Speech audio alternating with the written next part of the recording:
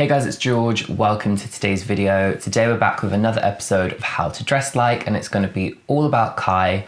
Kai has amazing style. There's a perfect mix of masculine and feminine, and what I really rate about his style is that there's always very traditional there we go again. There are very traditional elements of men's tailoring, men's shirting all throughout, and I just am here for it. In this series, I show you how to recreate looks from Instagram, airport, packed in the day to day, stage outfits, everywhere basically. And I'll be talking you through the key pieces, the silhouettes, the trends, and most importantly, how to recreate it with affordable and accessible fashion. Today I'll be recreating these looks in women's wear, but let me know if you want a menswear version and maybe I'll style it on myself. Kai Look One, we've got his most recent Instagram post, and I believe it's to celebrate the new Gucci store opening in Seoul. What I really like about this look is the like statement piece of knitwear. When I originally looked at this, I thought it was a jacket. It could very easily be a jacket with the shape of it, that crew neck, the check, the gold buttons, it's definitely got elements of jacketing tailoring in it, but it's actually a cardigan, I believe, because when you zoom in, you can really see that knitted texture. And what I love about this check is that it's been woven in a way that it doesn't look like it's knitted. It could even be like painted on top. Like, do you know what I mean? There's something very painterly about this check motif. And then you've got that solid navy border, the gold button. And then you can see underneath he's paired it with this pale blue striped shirt. But what's really, really nice about this shirt is that there's this like rusty like ready orange stripe going through it and that is just a very like traditional like men's business stripe. You see it a lot in like classic brands. We used to do it a lot at the heritage brand i used to work for and you can see that little stripe cuff poking out through the cardigan. It's just such a nice subtle print clash. Like looking at it from far away or i mean without zooming in this always makes me curious do people really zoom in on Instagram posts? I always love like a little zoom, but do people do people really do it? Let me know. Let me know. But anyway, back to this. I think unless you zoom in, you can't necessarily see the stripe. And I think that's what's really nice about it. It's just so incredibly subtle. And that statement piece of knit is still the statement. That is your key piece. It's not fighting against the stripe. I think the bag as well, it adds something quite uh, like a little feminine touch to the look and i'm really here for it. I really love that contrast of like that tan leather against the wicker and it's like a very neutral bag. So again nothing's in competition with that key piece cardigan. To affordably recreate this, I think you're better off going down the jacket route instead of the knitwear route. Knitwear is so much more expensive to produce and it will depend on the type of wool that they use, the type of blend, the knitting technique, the amount of colors going into it, the trimming, like the amount of time it will take to knit something, even on an industrial machine compared to creating a jacket in a factory, it's going to be so much more. So that's why knitwear is always like, like expensive. H&M has some really great affordable shirt jackets, which is a really great way to recreate this like casual effect of Kai's statement cardigan. We've got this plaid black and white one. I think it's just got that really nice casual fit and it's slightly longer, so it will give that knitwear kind of effect. Or you could go for a more cropped version. We've got this jacquard version with the puff sleeves. It's definitely a statement because of the silhouette more so than the actual jacquard fabric. Or you could go for this really nice houndstooth crop shirt jacket.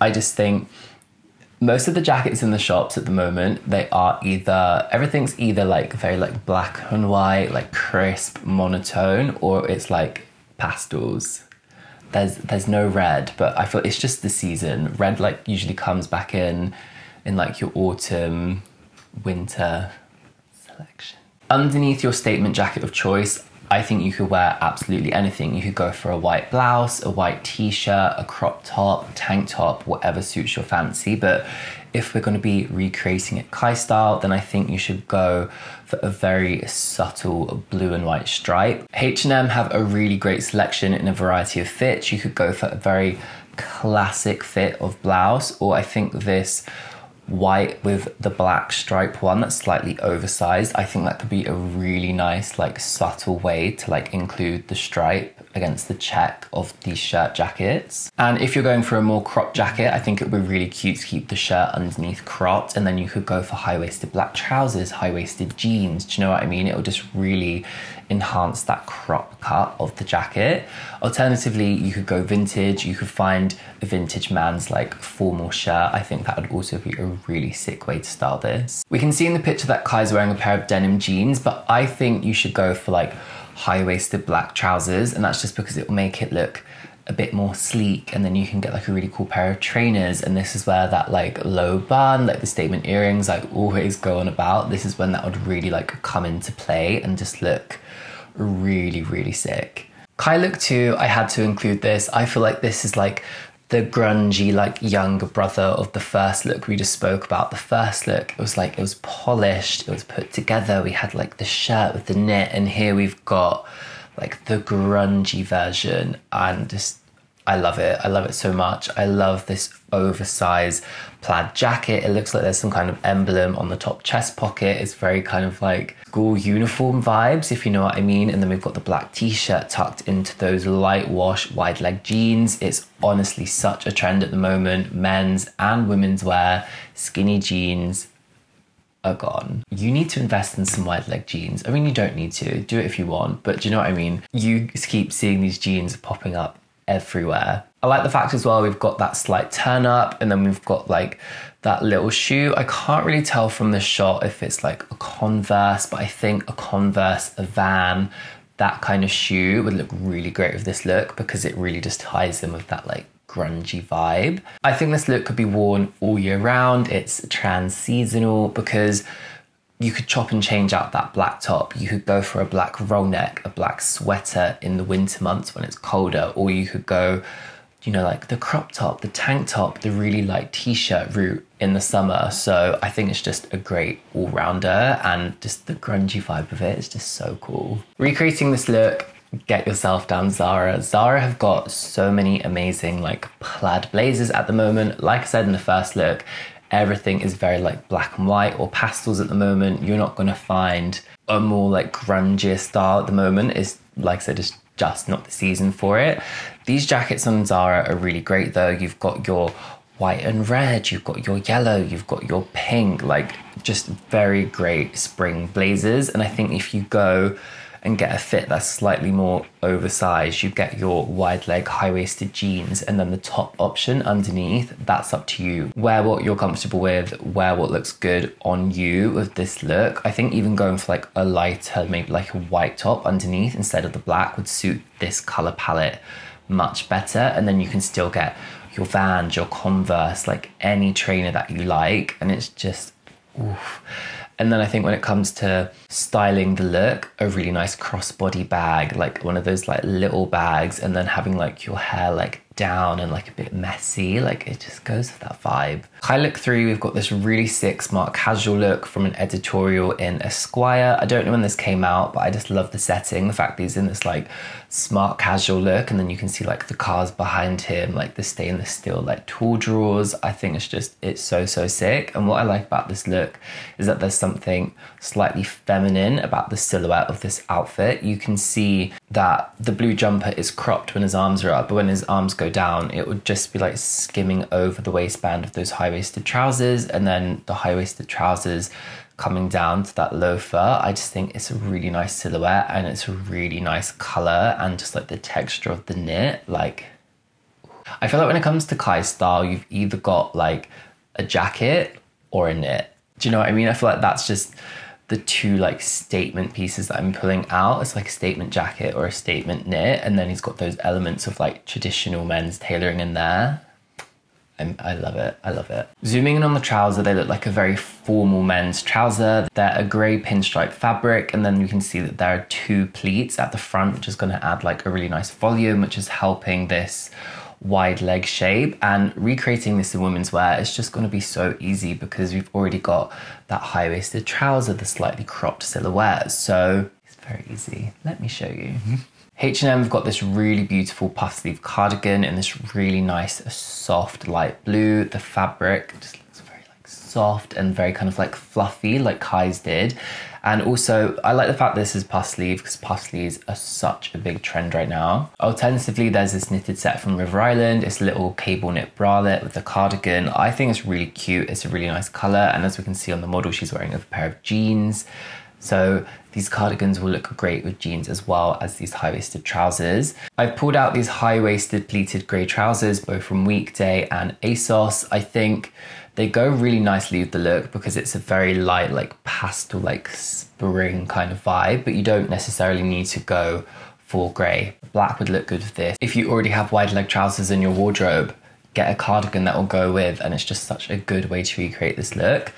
Another way that I think would look really, really sick is if you go for a pair of like oversized grey trackies, it'll give this kind of like cool, like tomboy effect. I think if you wear the cardigan, maybe with like nothing underneath, and then that low bun, the sunglasses, the earrings, trainers, it's just gonna give like a very like cool, edgy vibe. Also like effortless, that little like 90s shoulder bag. God, looks so good. If you have a bit more money to spend, Mango have these really nice blue cardigans. They are still cropped, but they've got a really nice texture to them. We've got this tie front one, and then we've got this really like embossed like cable knit version. I think it's just so nice and it really will work well with this high-waisted silhouette that we've got inspired from Kai. Kai look 4, I think this has to be one of my favorite Kai looks of all time. I spoke about this in my Kai airport outfits. I think I gave it like 10 wings. I mean, why would you not?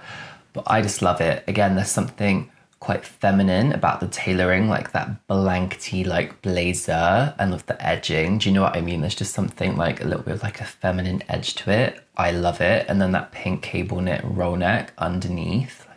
Like. This look is also playing into that light wash jeans trend. We can see here that this cut is a bit more of a straight cut. It's not as wide as we've seen, but it works really nicely with this silhouette because we've got that nice like strong shoulder of the jacket, the oversized fit of the jacket, and then that slim silhouette underneath. I think if you're gonna go oversized on a jacket, it is best to keep your silhouette underneath quite slim, just because that way it doesn't look like you're being like swallowed by the outfit and it makes oversized pieces a lot easier to wear. What's really nice about Kai's blazer is this blankety texture, but it's just not the right season to find that. When it comes back around to like autumn, winter, that's when we're gonna see those more woolly blankety textures come back in. Mango and ASOS have these really nice styles that are gonna allow you to recreate this look in spring, summer. And then underneath, I found this really cute cami. It's got that cable knit texture to it. So you're getting the same vibe, but you know, you're not gonna be like dripping with sweat wearing a cable knit roll neck and a blankety wool blazer in spring. Like, no, no, no. Mm-mm. Pair these pieces with your favorite high-waisted wide leg jeans. If you've not invested yet, I keep including these H&M ones. I think they're really affordable and H&M denim is really great quality. And then in Kai's look, he's got a pair of Chelsea boots on, but you know, we're in summer. I think a pair of black heeled mules would really finish this look off nicely. And then your statement bag. I know Kai's got this very expensive, very structured top handle Gucci bag. If you have a Gucci bag in that same like nude like monogram, pull it out slap it on. But if not, get your favorite statement bag out. Just make sure the color works with this outfit. Otherwise, your finishing touch is gonna kill it. Kai Look 5, we have this amazing Gucci jacquard suit. It's very, very 70s. It's included in this editorial in Elle. Just even the color palette is very 70s, like that subdued yellow. We've got the oversized peak lapel. A peak lapel is when your lapel piece comes out further than your collar piece. We can see that it's a double breasted. It looks like it's just got two buttons, so a DB2. We've got that collar poking out from under the jacket in that orangey tone. It's just very, very 70s. I really love it. You can see as well that the trousers got this very slight flare to it. And then he's got those black heeled Chelsea boots on, like high shine. I just think that very kind of like matte texture of the suit and then the high shine of the boot, it just works really well together. The 70s trend is huge at the moment, and we're seeing a lot of these geometric prints, a lot of statement suits. A lot of 70s silhouette suits, the flares, the big jackets, and I think this one from Mango is the closest you're going to find on the more affordable side of fashion. I don't think, I'm not saying by any means that this is like the most affordable thing. For this whole suit, you're looking at about $200, but when you think $200 compared to what the thousands and thousands that that Gucci one would have cost, I feel like this suit is also very close in silhouette. We've got that oversized notch lapel, a different lapel shape, but it's still got that oversized quality. We've got the gold buttons, it's double breasted. This looks like a DB4.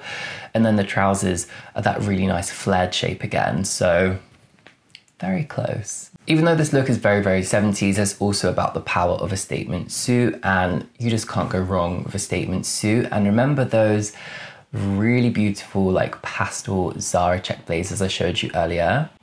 They're full suits. I think this checked yellow one from Zara has to be my favorite. There's definitely like a clueless kind of vibe to it, but there's also a very like 90s Chanel vibe there as well with like that tweedy fabric, the raw edge, the fit of it, the crop top, the skirt, the blazer.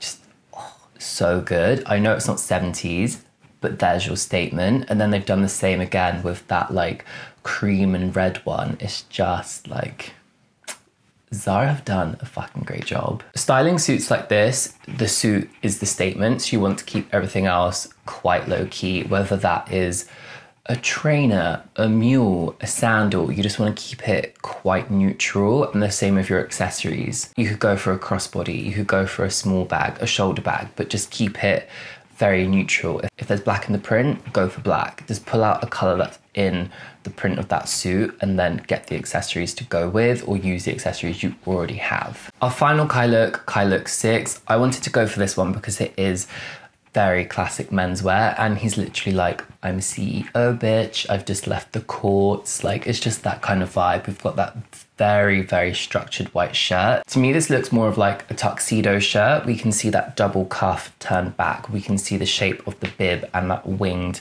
tip collar i think it's just do you know what I mean? No one really wears shirts like this in their like day to day, even formally dressed like this because it is very like black tie. So I really like the fact that Kai's incorporated that into this outfit. And then Kai has paired the tux shirt with these black pleated trousers.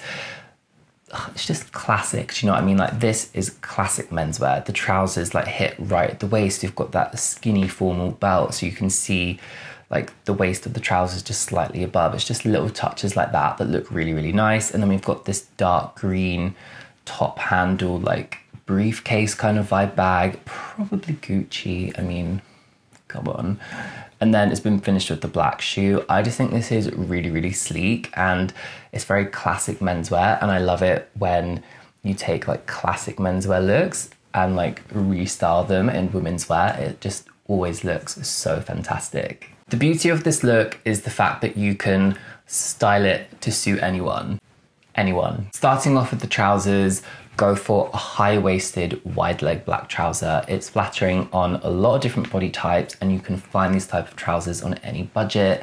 H&M do a great pair, Mango do a great pair. So find a pair that suit you and your budget. And then when it comes to the white shirt, you can have so much fun with this. You could go for a more cropped style with the tie front. Again, H&M and Mango have really great options. You could go for a crop shirt that just hits the top of those high-waisted trousers. It would look really, really good. You could go for a boxy shirt. You could go for a really nice wrap shirt that will really like snatch you in at the waist. Wrap shirts just suit so many different body types or you could go for a shirt that's got really nice embroidered detail. It's just any white shirt that suits you, tickles your fancy. Black trousers is just a classic. The beauty of this outfit is that you can style it in so many different ways to make it lean more casual or lean more formal. If you go for trainers, a brightly colored bag, a crossbody bag, and then like have your hair down, do you know what I mean? It's gonna lean more casual. Even a pair of sandals would work so, so well with this look. Chunky sandals, more like dainty sandals. Anything. And then if you want to lean more formal, you could go for a nice pair of heels, you could go for a pair of black mules, you could go for a more structured, like formal black bag, keeping it very monochromatic. You could go for that low slick bun, the statement lip. Do you know what I mean? You can make this outfit lean towards whatever you want. So it's wardrobe essential. And it's exactly the same with Kai's menswear look. Imagine if he wasn't wearing that very formal belt, remove that, and then if he had a pair of like really cool trainers on and then like a crossbody bag, it would just immediately take it away from that like formal side and draw it more casual. So it really is down to the styling. I really love Kai's style, the statement jackets, the statement knitwear, and then all like the classic elements of menswear. It just speaks to me. I love nerding out on like the traditional like menswear elements. So, so good. Let me know in the comments what your favorite look from today's video has been, but what you should do next. If you've not already seen it, is go check out my Kai Airport outfits video. I'll leave a little card up here on the top screen for you. But thank you so much for watching and a massive thank you to everyone who has subscribed. You are amazing. And I'll see you guys in the next one. Bye guys.